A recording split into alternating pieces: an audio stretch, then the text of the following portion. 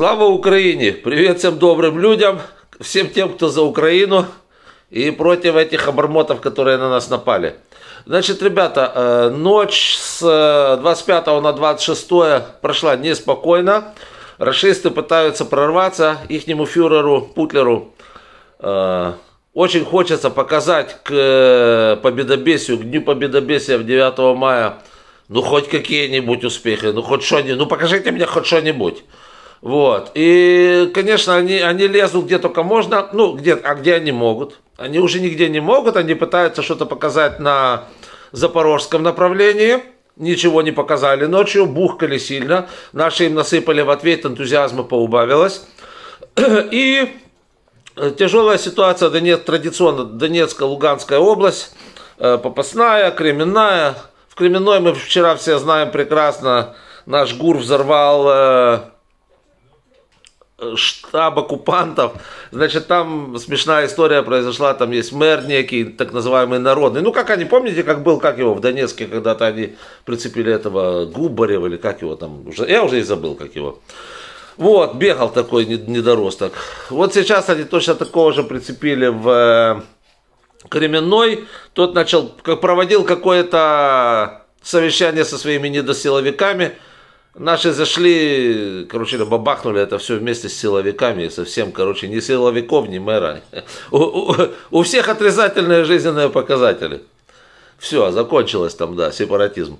Значит, э, если кому интересно, фотографии из Кременной у нас на телеграм-канале, да вообще там у нас куча, куча всего интересного, то, что я не могу выложить сюда, просто по той причине, что не обладаю авторскими правами, а YouTube за этим сильно смотрит и бьет за это. А на Телеграме, там всем это по барабану. Соответственно, кому интересно, заходите к нам на Телеграм, ссылочка снизу.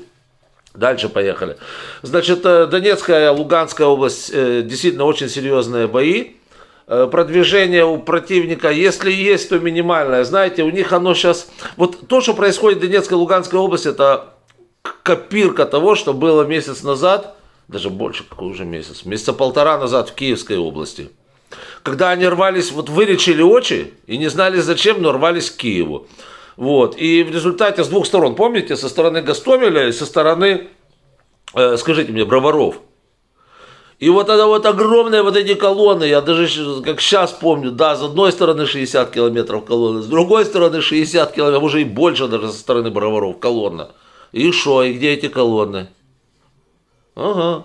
У них там тоже отрицательные жизненные показатели. Ну, единственное, кто остался очень дико рад, это наши ромы, потому что столько металлолома они отродясь не собирали. А теперь они, конечно, они там скачут, подскакивают, кричат «Аллилуйя, Господи, пошли нам еще немножко этих танков». Так я, говорит, не только детям построю по, по трехэтажной вилле, еще и внукам построю по трехэтажной. Столько металлолома, да вы что, это ж праздник души и сердца. Вот, ну, приблизительно та же самая картина Сегодня в Донецкой, Луганской и Запорожской области то же самое. Они туда шлют свои старые танки. Чтите ж. Еще знаете, какая разница с Киевской областью? Очень серьезная.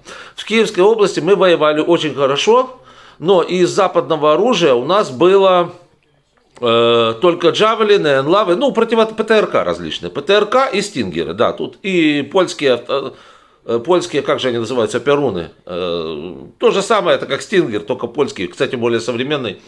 Вот. Это все, что у нас было на тот момент. И то насыпали так, что вы же видите, раскатали их там в ноль в Киевской области.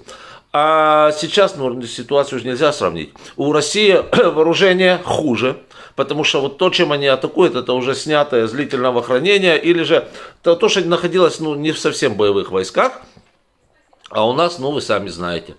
У нас сейчас только нам надавали гаубиц и вообще всяких вкусняшек, вы даже от авиации и до чего хотите.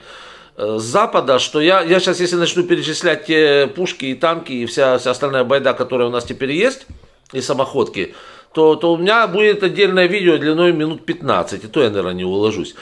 Поэтому сейчас что мы делаем? Ну, мы выматываем. Вы хотите атаковать? Ну, атакуйте, господи, положите там всю свою армию. То есть, получается, Киевская область дубль 2.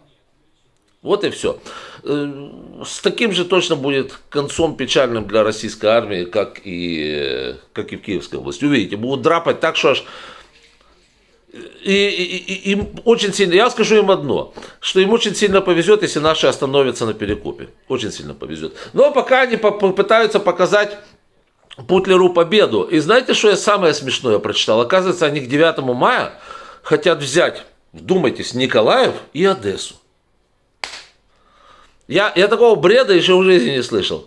Вы хотя бы капани под Херсоном возьмите, мудаки.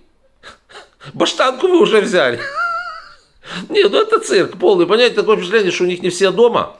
И у, у фюрера их не все дома. А, ну, а у фюрера так точно не все дома, потому что он, э, понимаете, он, пребывая в бункере, является полностью оторванным от жизни. Он не понимает, что на самом деле происходит на местности. Он не понимает, что палят ему танки, что палят БМП, БТР, это все горит, это все взрывается. Зайдите к нам на телеграм-канал, там видео, как с одной стугны П за три минуты расхренячили пять танков. Там просто порыться надо поискать. Просто он, один расчет стукни, пять танков положил за несколько минут. Вот вам все ваши... А это ничего не стоит. Это все, расчет стукни это два солдата. Ну там еще один стрелок рядом с ними были. Все.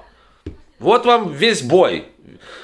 Они не понимают, что танки это танки, БТР, БМП, это все хорошо, это сохраняет жизнь бойцу в некоторых ситуациях. Но на поле боя Срок жизни этой махины, в случае, если у противника есть джавелины, стугны, я не знаю, энлавы и прочее, вот э, дребедень, ну, три минуты танк удерживает. Все, потом он, ну, блин, он сгорает.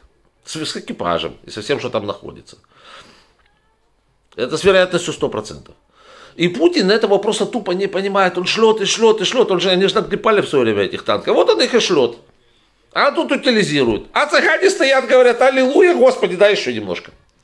Вот, собственно говоря, и все. Короче говоря, из всего, что вот это вот я вам расскажу, значит, э, русским хана, к 9 мая не то, что им не видать, ну, Никола... это даже смешно говорить. А, Херсонская Николаевская область, это отдельный цирк. Наши сейчас очень сильно насыпают под Херсоном. Ближайшая колонна, которая находится от Херс... наша, продвижение ну, это вообще, как бы общеизвестная информация, карты бегают, опять-таки, у нас на Телеграме есть, и вообще по Телеграмму эти карты уже бегают. Чтобы вы поняли, кто из Херсона, ну вот они Приблизительно там есть заправка в 5 километрах, на повороте таком есть заправочка вот э, на дороге Николаев-Херсон. Приблизительно в 5 километрах от э, это там на перемогу, по-моему, потом еще что-то как-то называется. Вот этот поворот, буквально там в пяти километрах от посад Покровского, э, говорю, от посад Покровского, от э, Чернобаевки. Буквально, это вчера были. Сегодня уже не знаю, может ближе. Вот. Но факт тот, что наши их выдавливают из Херс... со Станислава, заходят, вот, из стороны Б Александровки заходят, то есть со всех сторон. И, и он говорит, что он возьмет Николая в Одессу. Ты Херсон удержи. 9 мая над Херсоном давным-давно уже будет украинский флаг, ребята. Вы о чем? Какой Одесса, какая Николаев? Единственное, что я волнуюсь, конечно, за Антоновский мост, потому что когда будем брать Херсон, будем брать Антоновку, это понятно, это все вместе, один блок. Но я очень боюсь, что они мост, конечно, уцикнут, потому что потому что видели ни разу, ни два, как они плавали вокруг опор моста на своих этих утлых этих лодчонках э, русские, и что-то они там манипуляции какие-то проводили, я так сильно боюсь, что Антоновский мост, конечно, заминирован, вот, и попасть в Олежки будет проблема, это уже будет, наверное, освобождать ее со стороны Запорожья. Ну, посмотрим, может, перейдем где-то реку, там, посмотрим. Насколько большим будет наше преимущество на тот момент, когда будем освобождать Херсон – и, соответственно, освобождать Олежки. Но это другая сторона Днепра, я же говорю, там это сопряжено с рядом трудностей, поэтому посмотрим, может через Каховку зайдем, посмотрим, как оно будет. Ну, пока что так. Короче говоря, Путин пребывает в полном маразме и не, тупо не отдупляет, что происходит на местности. Поэтому отдает приказы, ну, равнозначные приказам Гитлера в 45-го. Там то возьми, то возьми, а генералы стоят, хватаются за голову, боже, а чем его брать, у меня солдат не осталось. Так и здесь. Он посылает туда 500 танков, сюда 500 танков, захренячили их за один день. Ну давай еще где-то. С какого мы там округа еще не взяли? А, с этого, с дальневосточного округа. Ну сейчас еще навезем. Ну, маразм, маразм. Маразм полнейший. Разложение, деградация и так далее, и так далее. Так называемой бывшей второй армии в мире. Ну а у нас все в порядке, ребята. Работаем по плану, контрапупим их. И все будет Украина. Слава Украине.